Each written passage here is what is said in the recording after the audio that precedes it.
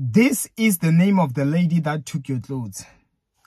Hello everyone and I welcome you to the gospel with Ishmael.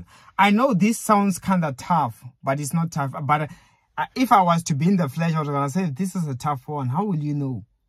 But then let me tell you, you will know. Remember one thing, okay? If you are to miss whatever I say, you are get to be annoyed. Get this one thing. God when he exposes, he has different means. I want to talk about your clothes. They do take your clothes. Things they do disappear. You don't find them no more. Hence, I want to tell you right now. Hence, I am saying to you, may God expose the lady that took your clothes. I pray, may that lady, may that person be exposed one way or another it might be through a dream. They might confess.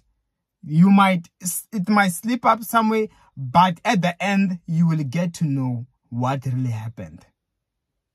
I pray any active, active powers of darkness that are waking, that are active right now in your life because of your clothes that were stolen, which were taken, which were utilized. May God expose. May God neutralize those powers. May I deactivate those witchcraft powers in Jesus' name. Amen.